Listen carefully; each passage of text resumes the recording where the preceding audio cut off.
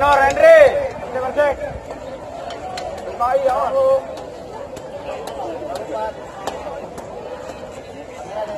Cek,